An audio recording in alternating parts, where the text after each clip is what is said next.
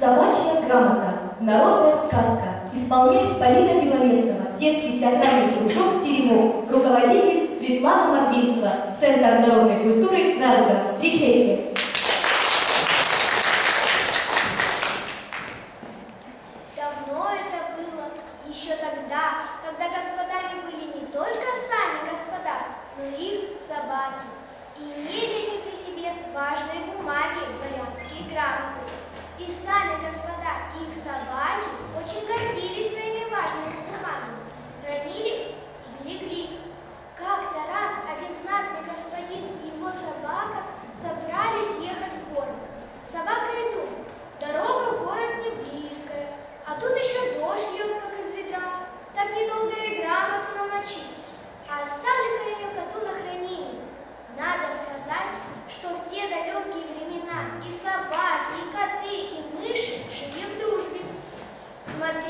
dramatik ulas